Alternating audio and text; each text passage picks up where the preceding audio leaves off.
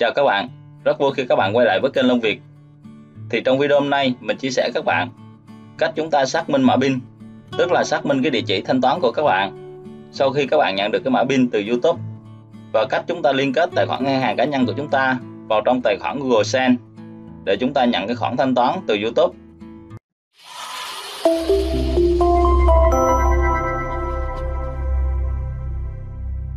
Rồi, đầu tiên các bạn mở trình duyệt Google Chrome lên các bạn đăng nhập vào trang chủ Google AdSense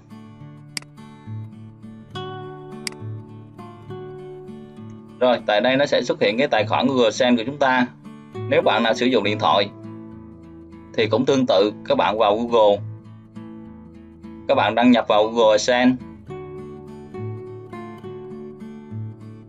Rồi, các bạn cũng làm tương tự nhé. Rồi, tại đây các bạn thấy thanh toán của bạn hiện đang bị giữ do bạn chưa xác minh địa chỉ của mình khi các bạn kéo xuống. Ngay đây, xác minh địa chỉ thanh toán.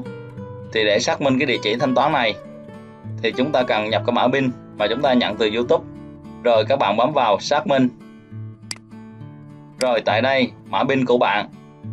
Các bạn nhập cái mã pin gồm 6 số của mình vào. Các bạn lưu ý là mình phải nhập cho chính xác, vì mình chỉ có 3 lần nhập. Rồi các bạn nhập cái mã pin của mình vào. Rồi sau khi nhập xong, các bạn kiểm tra lại xem có đúng cái mã pin của mình chưa. Rồi các bạn kiểm tra đã đúng rồi, các bạn bấm vào gửi. Địa chỉ thanh toán của bạn đã được xác minh. Ok, vậy là mình đã xác minh xong cái địa chỉ thanh toán của mình bằng cái mã pin của YouTube gửi cho mình. Rồi tiếp tục là liên kết cái tài khoản ngân hàng cá nhân của mình vào tài khoản Google Send này. Các bạn chọn vào thanh toán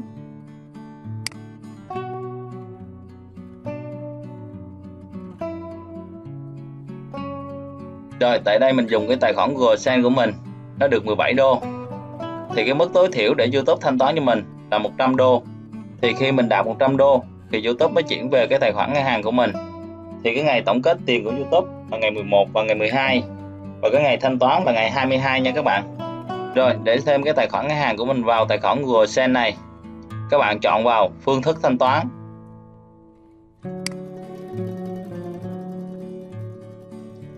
Rồi tại cái giao diện này, các bạn thấy thêm phương thức thanh toán. Đây là cái phương thức thanh toán mới nhất của YouTube tới đến năm 2021 nha các bạn. Rồi các bạn chọn vào thêm chi tiết chuyển khoản ngân hàng mới. Rồi tại cái hàng đầu tiên ID người thụ hưởng, thì tại đây các bạn nhập cái số chứng minh nhân dân của mình vào, hoặc là cái số căn cước công dân của mình. Tuy nó không bắt buộc, nhưng các bạn nhập vào nó sẽ tốt hơn. Rồi các bạn đánh số chứng minh nhân dân của mình vào hoặc là cái số căn cước của mình. Rồi tiếp tục là tên trên tài khoản ngân hàng. Thì ở đây các bạn đánh cái tên trên cái thẻ ATM của tài khoản ngân hàng của mình là viết hoa không dấu nha các bạn. Rồi tiếp tục là tên ngân hàng. Thì tại cái tên ngân hàng này, các bạn phải đánh cái tên ngân hàng bằng tiếng Anh nha các bạn. Thì để biết được cái tên ngân hàng tiếng Anh của mình, các bạn mở thêm một tab nữa. Các bạn đánh vào tên ngân hàng tiếng Anh.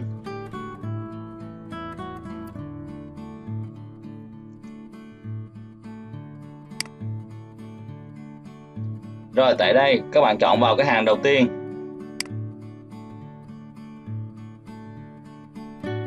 Đây là cái trang web tên tiếng Anh các ngân hàng Việt Nam mới nhất 2021 Rất là uy tín nha các bạn.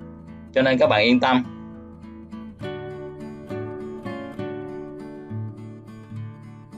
Rồi ở đây nó có tất cả các ngân hàng của Việt Nam, tên tiếng Anh, mã code.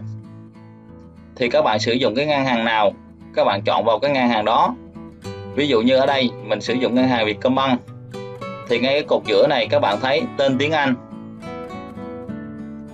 Các bạn copy cái tên tiếng Anh này.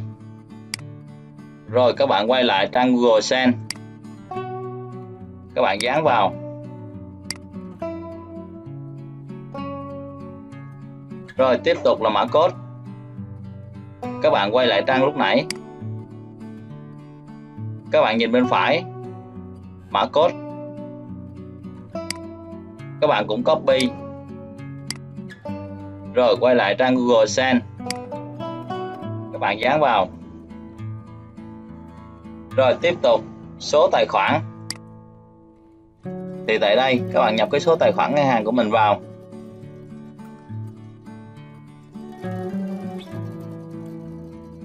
rồi tiếp tục là các bạn nhập lại số tài khoản của mình. Rồi tiếp tục là hai hàng phía dưới. Thứ nhất là ngân hàng trung gian, thứ hai là FFC hoặc FBO thì với hai hàng này, các bạn không cần phải nhập gì. Rồi sau khi nhập xong, các bạn kiểm tra lại một lần nữa cái thông tin của mình xem đã chính xác chưa.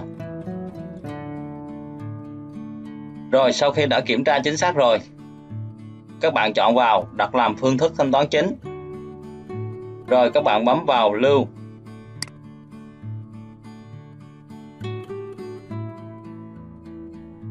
Ok, vậy là mình đã liên kết xong cái tài khoản ngân hàng cá nhân của mình vào cái tài khoản GSend này. Nếu như trong tài khoản GSend của mình đạt đủ 100 đô thì vào ngày 22 hàng tháng nó sẽ chuyển vào cái ngân hàng cho mình. Ok, vậy là mình đã vừa chia sẻ xong cho các bạn cách chúng ta xác minh mã PIN và cách chúng ta liên kết tài khoản ngân hàng cá nhân của mình với tài khoản Google Send để nhận thanh toán từ YouTube. Hy vọng video này sẽ giúp ích cho các bạn. Cảm ơn các bạn đã theo dõi video. Chúc các bạn thành công. Các bạn nhớ like, subscribe kênh để ủng hộ mình và theo dõi những video tiếp theo.